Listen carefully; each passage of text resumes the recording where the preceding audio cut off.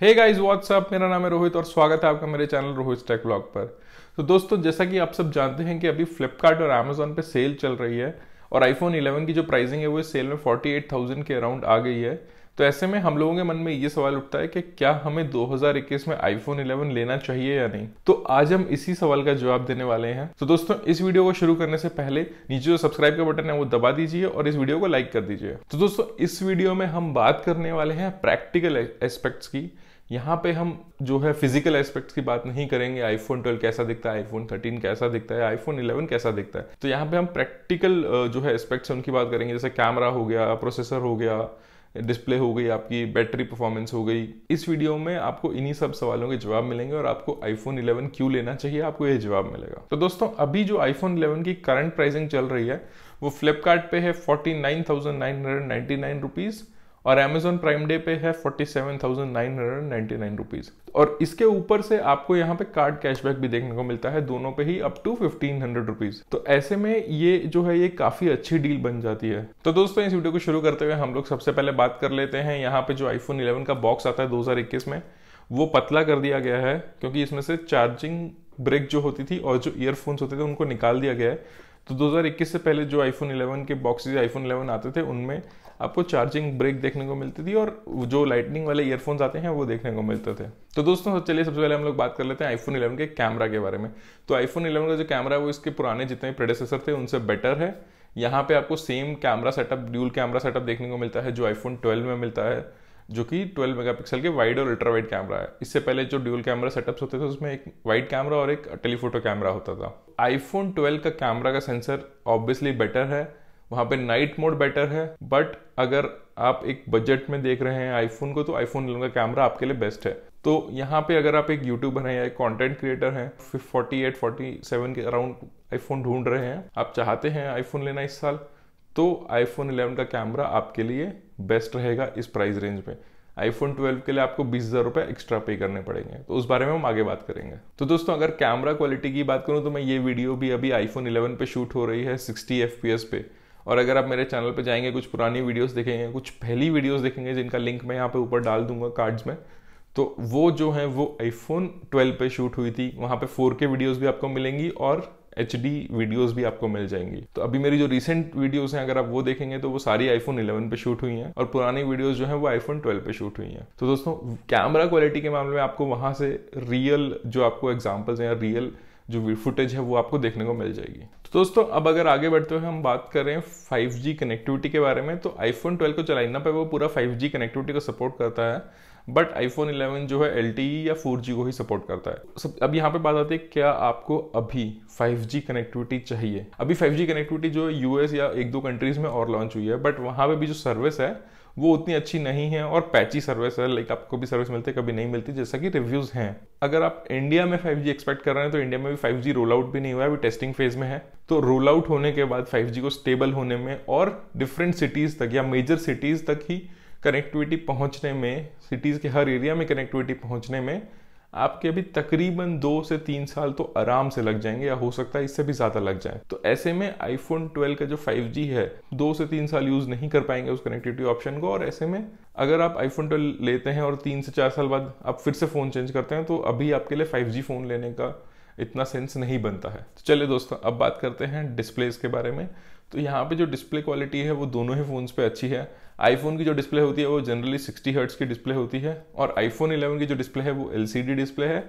IPhone 12 की जो display है, वो ओलेट डिस्प्ले है। ओलेट डिस्प्ले जो है, वो ऑब्वियसली बेटर होती है एलसीडी डिस्प्ले से। वहाँ पे आपको और ज़्यादा ब्लैक्स देखने को मिलते हैं, वहाँ पे अच्छा कॉन्ट्रास्ट देखने को मिलता है कलर्स अच्छे देखने को मिलते हैं आपको ओलेड में। तो अगर आप बहुत ज़्यादा वीडियो देखते हैं, अगर आप वीडियो कंटेंट बहुत ज़्यादा कंज्यूम करते हैं तो आप अपने फ़ोन में अगर ओलेट डिस्प्ले वाला ही फ़ोन लेंगे तो ज़्यादा बेटर होगा।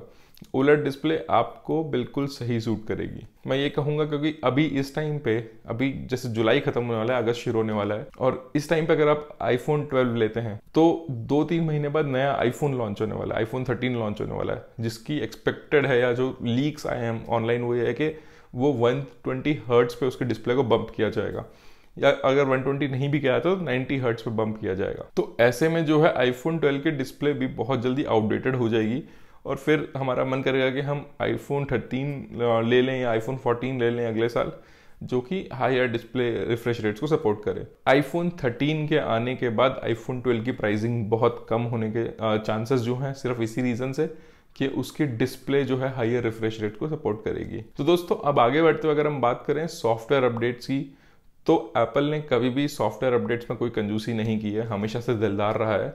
2015 में जो आईफोन लॉन्च हुआ था आईफोन 6s उसको भी अभी 2021 में iOS 15 का सपोर्ट मिलेगा। तो ऐसे में अगर आप आईफोन 11 अभी लेते हैं तो आप 2025 तक तो श्योर रह सकते हैं कि आपको सॉफ्टवेयर अपडेट्स मिलेंगे ही मिलेंगे। तो सॉफ्टवेयर अपडेट से फ्रंट पे हमें आईफोन 12 या आईफोन 11 में कभी कोई दिक्कत नहीं होने वाली है। तो दोस्तों, चलिए अब हम बात करते हैं आईफोन के प्रोसेसर्स की या उनके अंदर जो चिप है उसकी। तो आईफोन 11 में जो है वो ए थर्टीन चिप है आईफोन 12 में जो है वो ए फोर्टीन चिप है। ऐसे में यहाँ पे ये नहीं है कि ए फोर्टीन के आने से जो ए थर्टीन की चिप है वो स्लो हो गई है या ठंडी पड़ गई है। ए थर्टीन की चिप भी आपको ऑलमोस्ट सेम परफॉर्मेंस देती है बट यहाँ पे ए फोर्टीन में जो इंप्रूवमेंट्स किए गए थे, उसमें से मेजर एक ये था कि उसको कम बैटरी पे चलने के लिए बनाया गया था। तो आपको यहाँ पे आईफोन 12 में जो बैटरी है वो थोड़ी छोटी देखने को मिलती है कंपेयर टू आईफोन 11 बट दोनों का जो बैटरी बैकअप है, वो सेम है। तो दोस्तों, अगर आप गेम खेलते हैं, अगर आप स्ट्रीम करते हैं, अगर आप कंटेंट क्रिएट करते हैं तो ए थर्टीन की चिप है, उसमें भी आप गेम खेल सकते हैं। सिक्सटी हर्ट्स पे विदाउट एनी प्रॉब्लम वहाँ पे भी आपको कोई लैग नहीं आएगा, कुछ नहीं आएगा। आप स्ट्रीम भी कर सकते हैं साथ साथ कोई प्रॉब्लम नहीं होगी उस चिप की वजह से। तो यहाँ बस जो मेजर इंप्रूवमेंट है, वो मैं कहूँगा कि बैटरी रिलेटेड या पावर रिलेटेड ऑप्टिमाइजेशन थी A thirteen to A fourteen में। तो दोनों ही चिप्स जो है आपको सिमिलर काइंड ऑफ़ परफॉर्मेंस देती हैं बट हाँ ए फोर्टीन थोड़ी बेटर है। तो दोस्तों, इस वीडियो में आगे बढ़ने से पहले इस वीडियो को लाइक कर दीजिए और मेरे चैनल को सब्सक्राइब कर दीजिए। तो दोस्तों, अब अगर हम बात करें यहाँ पे जो आईफोन के डिस्प्लेज हैं या जो ग्लास यूज़ होता है बैक में, उसकी तो आईफोन 12 में डेफिनेटली इंप्रूवमेंट्स हुए थे। आईफोन 12 में जो अपना ग्लास था, उसको शेरमिक स्टील ग्लास बोला गया था और उसकी ड्यूरेबिलिटी काफ़ी ज़्यादा इंक्रीज हुई थी। तो जो डिफरेंट डिफरेंट ड्रॉप टेस्ट हुए थे या उसके जो रिजल्ट्स आए थे, वो काफ़ी अच्छे रिजल्ट्स आए थे। बट ऐसा नहीं है कि आईफोन 11 भी जो है वो बहुत डेलीकेट फ़ोन है बट आईफोन 12 में डेफिनेटली एक इम्प्रूव ग्लास है। तो अगर आपके हाथ से फ़ोन गिरता रहता है या आपके फ़ोन की जो बेसिकली डिस्प्ले है, वो बहुत जल्दी टूट जाती है। तो आप आईफोन 12 को कंसिडर कर सकते हैं। तो दोस्तों अब हम लास्ट में बात करते हैं यहाँ पे प्राइसिंग और बजट की। तो बेसिकली डिफरेंट सेल्स में आपको डिफरेंट प्राइसिंग देखने को मिलती है। तो यहाँ पे जो प्राइम डे पे आईफोन 11 की प्राइसिंग है वो है 48,000 फ्लिपकार्ट पे जो बिग सेविंग डे में इसकी प्राइसिंग है वो है 50,000 और इन सब के ऊपर से आपको कार्ड कैशबैक्स भी देखने को मिलते हैं। ऐसे में अगर मैं बात करूँ तो जो इफ़ेक्टिव प्राइस आपको पड़ेगा वो पड़ेगा around forty six thousand five hundred Amazon Prime Day पे फ्लिपकार्ट पे आपको पड़ेगा forty eight thousand five hundred. क्योंकि दोनों पे ही मैक्सिमम पंद्रह सौ रुपए तक का कैशबैक है। अगर यहाँ पे मैं बात करूँ आईफोन ट्वेल्व की तो आईफोन 12 की जो प्राइसिंग है, वो है sixty thousand plus card cashbacks पंद्रह सौ रुपए। तो वहाँ पे जो आपको इफ़ेक्टिव प्राइसिंग पड़ेगी, वो पड़ेगी around fifty eight thousand five hundred rupees तो दोस्तों, यहाँ पे दोनों फोन्स के बीच में लगभग लगभग आपको 20 से बाईस हज़ार रुपए तक का डिफरेंस देखने को मिलता है। अगर आप इस साल आईफोन ले रहे हैं और आपने डिसाइड किया है कि आपको आईफोन 11 लेना चाहिए तो आप डेफिनेटली लीजिए। बट अगर आपने ये वीडियो देखने का डिसाइड किया है कि नहीं, मुझे लेटेस्ट फ़ोन चाहिए, मुझे 5G कनेक्टिविटी चाहिए मुझे बेटर डिस्प्ले चाहिए क्योंकि मेरे से डिस्प्ले टूट जाती हैं तो आप आईफोन 12 लीजिए बट यहाँ पे मेरा सजेशन ये होगा कि आप दो से तीन महीने वेट करिए, अगर आप वेट कर सकते हैं, अगर आपको जल्दी नहीं है तो। क्योंकि अभी अगस्त ऑलमोस्ट आ गया है सितंबर एंड में या अक्टूबर में एप्पल का लॉन्च इवेंट होगा, जिसमें एप्पल आईफोन 13 लॉन्च करेगा और कुछ नए और डिवाइसेस लॉन्च करेगा। आईफोन 13 के जो लीक्स हैं, उसमें कुछ मेजर इंप्रूवमेंट्स होने वाली है डिज़ाइन में डिस्प्ले में और इन सब की वजह से आपका जो आईफोन 12 का प्राइसिंग है वो बहुत ही ज़्यादा डिस्काउंट पे आपको मिलेगा बहुत ही ज़्यादा प्राइस जो है वो गिर सकते हैं। अगर आपको जल्दी नहीं है, आप अभी आईफोन 12 एकदम से नहीं लेना चाहते हैं इस सेल में नहीं ले रहे हैं तो मैं आपको सजेस्ट करूँगा, आप वेट करिए उन फोन्स के लॉन्च होने का, नए आईफोन्स के लॉन्च होने का, क्योंकि वो ज़्यादा टाइम नहीं है। अभी दो या तीन महीने मैक्सिमम नवंबर में तो हर हाल में वो मार्केट में अवेलेबल हो जाएँगे नए iPhone all over the world including India आप वेट करिए और अगर आपने अभी फ़ोन लेना है, आपने डिसाइड किया कि आप आईफोन 11 लीजिए तो आप आईफोन 11 ले सकते हैं। तो दोस्तों, अगर मैं बात करूँ कि क्या मैं 2021 में मैं खुद आईफोन 11 लूँगा, मैं आपको बता दूँ कि मैंने खुद अपने पर्सनल यूज़ के लिए या ये यूट्यूब की वीडियोस बनाने के लिए आईफोन 11 लिया है और ये वीडियो अभी भी आईफोन 11 पे ही शूट हो रही है HD मोड में सिक्सटी एफ़ पे। तो दोस्तों, मेरा डिसीज़न तो था कि मैं आईफोन इलेवन ही लूँगा। तो इसीलिए मैंने आईफोन इलेवन ले लिया है बिना कुछ ज़्यादा सोचे हुए और मेरा काम अगले तीन चार साल के लिए हो गया है। तो दोस्तों, ऐसी और वीडियोस देखने के लिए आप मेरे चैनल को सब्सक्राइब कर दीजिए। और इस वीडियो को लाइक कर दीजिए।